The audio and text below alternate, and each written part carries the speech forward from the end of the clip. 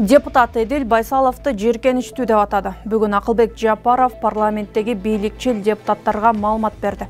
Улуттук банк жаңы банкнота чыгарды. Алдыда ушул жана башка окуялар тууралуу кеп калабыз. Саламатсызбы ысык ата райондук прокуратурасы тарабынан ысык ата санаторийине текшерүү жүргүзүлдү. Бул тууралуу башкы прокуратурадан билдиришти. Текшерүүдө санаторийдин мурунку жетекчиси жана айрым кызматкерлери эки миң жыйырманчы жана жыйырма экинчи жылдарга жалпы суммасы он эки миллион тогуз жүз токсон алты миң сомдук каражатты мыйзамсыз эсептеп чыгарышканы аныкталган ошондой эле эмеректерди жогорулатылган баада сатып алуу келишимдерин түзүшүп бир миллион беш жүз жетимиш жети миң сомдук зыян келтиришкен. Факты боюнча кылмыш иши козголуп тергөө амалдары жүрүүдө. Жыйырма жетинчи апрелде жогорку кеңеш улуттук банкка барып кумтөрдүн алтынын текшерген депутаттык комиссиянын сүрөттөрүн жарыялады.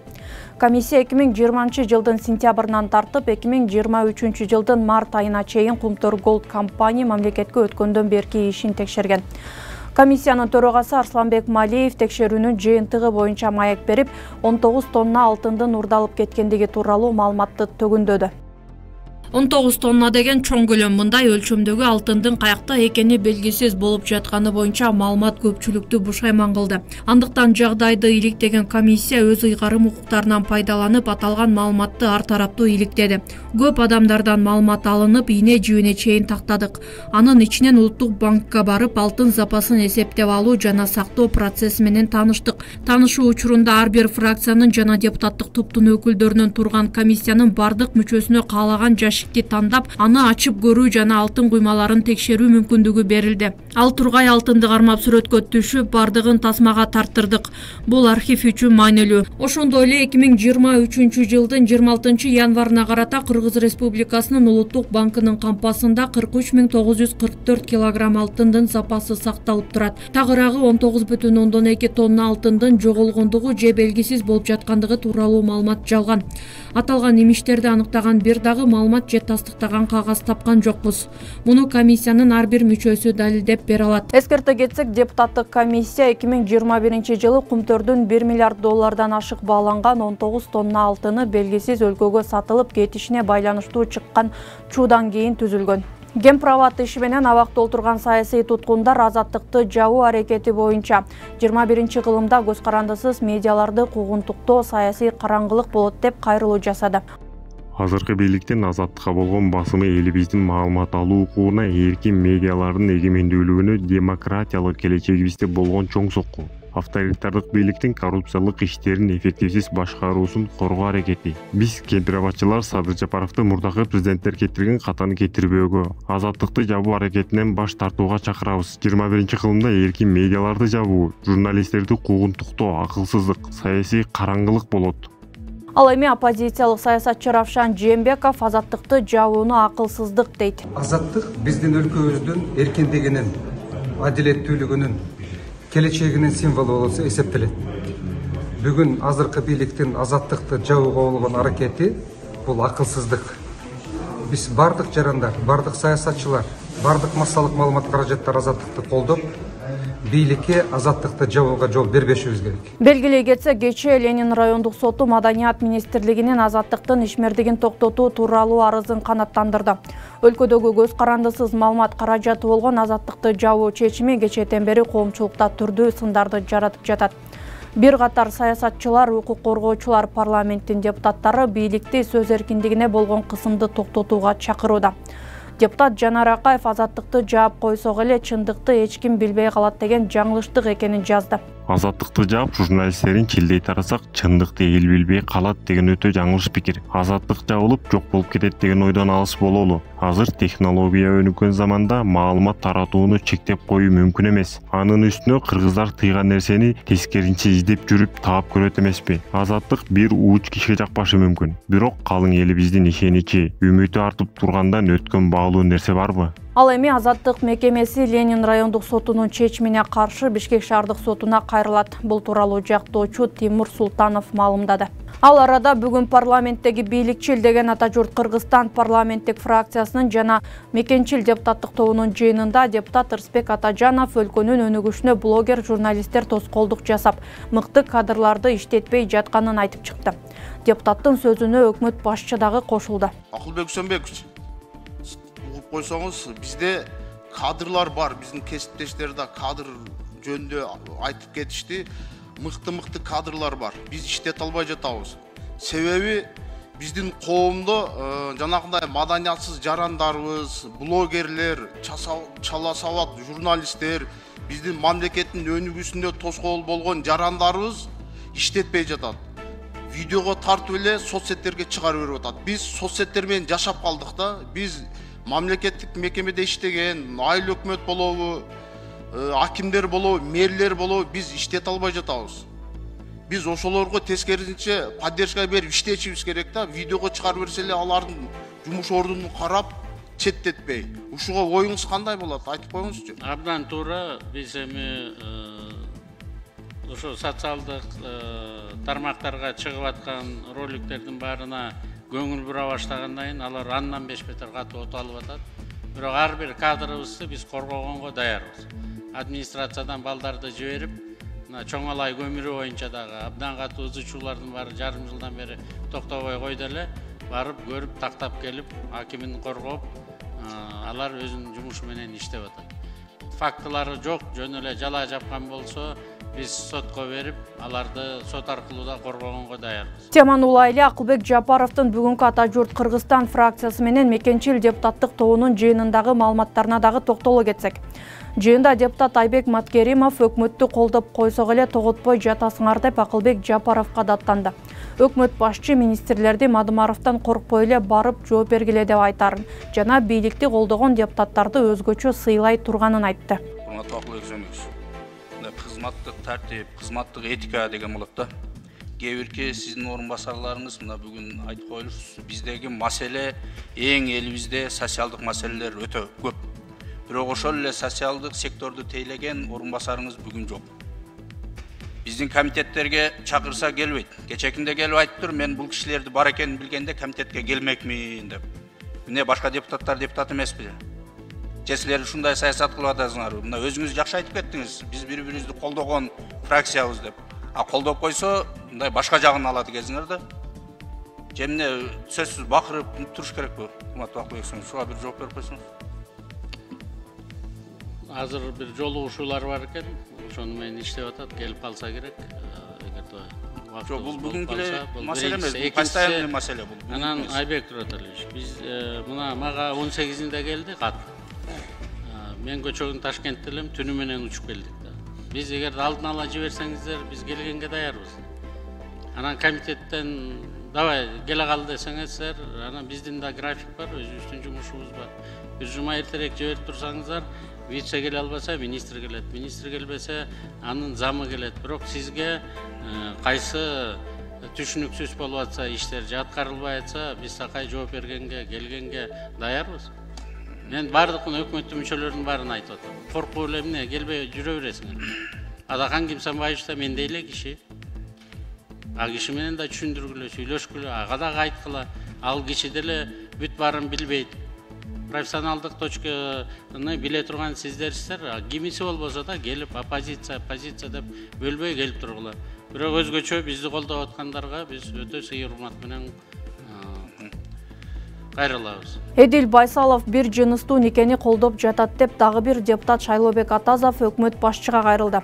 Айтымында вице премьер министр эдил байсалов кыргыз улутуна динине ыйманына салтына наркына каршы идеологияны жүргүзүп жатат. Азыр кадр саясаты боюнча айтып кетти биздин кесиптештерибиз. Ошол бакыт төрөбаев айбек жунушалиев дегендерди мына үстүңкү катмарларды жакшы койдуңар да. Анан ылдый түшкөндө эле бардық батқақ башталып жатады бүт тазалап э, елдің жүгін көтере тұрғандарды қойсаңыздар жақсы болады мына глобальный фондтан 29 миллион доллар келсе қыз менен қызды үйлендірш керек деп мына вице премьеріңіз мақұлдық беріп жатады э, ақылбек үсенбекович байдалов еділ байсалов деген э, мырза қырғызстанда 10 секунд қосып қоя қалады бітіріп алсын қырғыз ұлытының дінінің иманының салтын нарқына қарсы идеология немене жүргізіп жатышат бұлар қачан қырғыз қызына қызды үйлөдүлө эмне бұны токтотпойт вице премьер министр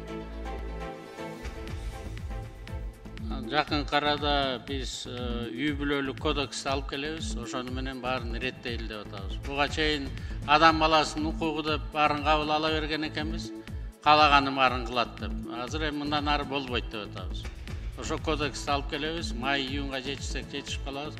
Жетишпесек сентябрда үй бүлөнүн кодексин алып келип мыйзам менен баарын иретке коелу деп атабыз. Сиз могул жерде гейлерди колдоо деген пунктту окудуңузбу? Төртүнчү ушул жерден көрдүк ооба туура колдоо эмес аякта профилактика деп жазылып турат болуш керек.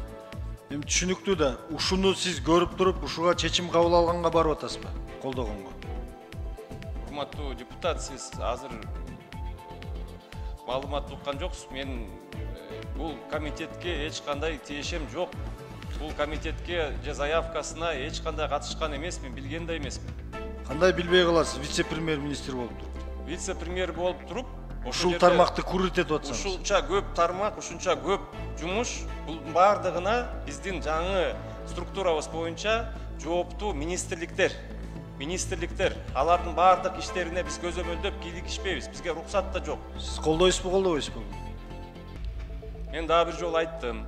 Биз буюрса мына бүгүндөн калбай эле страновой комитетти биз жоебуз кайра курамын карап чыгабыз адистер анан ошондой биздин мамлекетибизге азыркы абалыбызга жараша программалар түзүлүп чыгат.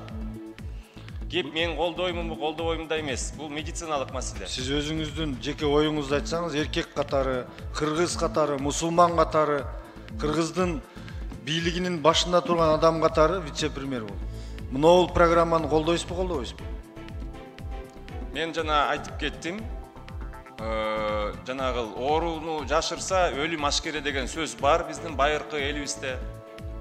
Ошондуктан кандайдыр ооруну көйгөйгө биз чара көрүшүбүз керек. Сиз саясий тилде жооп берип койдуңуз. Кыргыз эли баары көрүп турат. Мынандай жийиркеничтүү нерсени жогорку кеңеште талкуулаган ушул жака чейин алып чыккан ушулга жооптуулардын баарын жоопко тартыш керек ал эми депутат искендер матраимов эдил байсаловду саясатчы эмес мамлекеттик кызматкер болууга чакырып кеңеш айтты эдил жолдубаевич мен сизге как жашым улуу катары анан мамлекеттик кызматтарда көп жылдан бери иштеген катары эми муну кабыл аласызбы албайсыз өзүңүздүн ишиңизде сиз бүгүнкү күндө кыргызстандагы эң баягы белгилүү саясатчы да сиздин биринчи саясатчы да экинчиси анан мамлекеттик кызматкер сиз ушу биринчи кызматты дагы алып жүрөсүз да ошодон кетсеңиз өзүңүзгө өзүңүз сөз алып алып атасыз жок мен айтып атканым уксаңыз эдил байча мен жумуштан кеттиң деген жерим жок биринчи сиз эртең менен турганда мен мамлекеттик кызматкермин деп көп жерден өзүңүзгө өзүңүз сөз алып алып атасыз да. Жөн эле жерденчи мына бүгүн азыр министр болуп иштеди бул катуу тийдиңиз башка жерлерде болуп атат мен сизге жок мен эдил жолдубаевич эми мен сизге ушу суранарым эми аны өзүңүз билесиз кандай кыласыз эмне кыласыз мен сизге окутуп үйрөтө албайм эскерте кетсек байсаловдун ишин буга чейин эле бир нече депутаттар сындап чыккан бирок акылбек жапаровду ченемсиз мактап бийликти жактаган эдил байсалов өзү айткандай кылы кыйшайбай келет сиз арча медиа редакциясы даярдаган жаңылыктар чыгарылышын көрүп жатасыз. Биздин youtube каналга катталыңыз. Биздин экс тв телеканалынан көрүп жаткан болсоңуз экранда көрсөтүлгөн qr код аркылуу катталсаңыз болот. Ал үчүн телефонуңуздун камерасын экрандагы белгиге сканерлеп көрсөтүлгөн шилтеме аркылуу катталуу баскычын басыңыз. Чыгарылышка лайк басып пикириңизди калтырып бөлүшүңүз. Бул менен сиз объективдүү маалыматтарды жайылтууга көмөктөшкөн болосуз. Ал арада ошол эле байсалов адахан мадумаровдун өкмөттү отставкага кетирүү сунушуна жооп кайтарды айтымында мадумаров элдин биримдигине бүлүк салууда адахан мадумаровдун милдети кандай болбосун? Элдин биримдигине бүлүк салуу кырдаалды туруксуздаштыруу биздин эл анын жасалмалуулугун жана деструктивдүүлүгүн айдан ачык көрүп турат. Эске салсак жыйырма жетинчи апрелде бүтүн кыргызстан фракциясы министрлер кабинетинин толук курамы менен отставкага кетишин сунуштаган. Буга министрлер кабинети конституцияда жазылган пенсия жөлөк пул жана башка социалдык жардам жашоо минимумунан төмөн эмес өлчөмдө болушу керек деген талапты аткарбай жатканы себеп болгон 27 апрель саат 24.00-гө каратта номер 26 Ленин бир мандаттуу шайлоо округу боюнча жогорку кеңештин депутатын мөөнөтүнөн мурда шайлоого катышуу үчүн 49 талапкер 40 эркек жана 9 аял арыз берди. Бул тууралуу борбордук шайлоо комиссиясынан билдиришти. Маалыматка ылайык анын ичинен 5 талапкер мөөнөтүнөн мурда шайлоого катышуудан баш тартты кечээ абактагы жарандык активист илгиз шамянов дагы талапкер катары катталуу үчүн бшкга жеткирилди. Выбор боюнча мен жеңип чыгам. Себеби эки миң жыйырма биринчи жылы бишкек шаардык кеңешине ошол ленин районунан депутат болуп чыккам. Бизнесиңиз тууралуу сөз болуп атат эми бизнес боюнча азыркы бийликти мындайча айтканда айрым адамдар мындай подстава кылды десем болот да. Туура эмеспи жалган маалымат алып келип башчыга кол койдуруп кетишти да мен боюнча туура жаран бул боюнча баягы президент садыр нуркожоевичке да кат жаздык баягы туура чечим болот деп мен ишенем да эскерте кетсек бишкектин ленин округу боюнча жогорку кеңештин депутатын кайра шайлоо 28 майда өтөт. Улуттук банк 10 майдан тарта 200-500 жана 1000 сомдук улуттук валютанын жаңы үлгүлөрүн чыгара турганын билдирди. Жаңы сериядагы банкноттор улуттук валютанын жүгүртүүгө киргизилишинин 30 жылдыгына арналып чыгарылган. Анда биринчи чыккан акча бирдигиндеги элементтер жана заманбап коргоо белгилери камтылган банкноталарды франциялык жана америкалык шведтик компания иштеп чыгарат. Бүгүнкүгө алынган орунттуу окуялар топтому ушулар болду. Ушул жана башка кабарларды биздин соц тармактардан окуп туруңуз. Күнүңүз көңүлдүү улансын.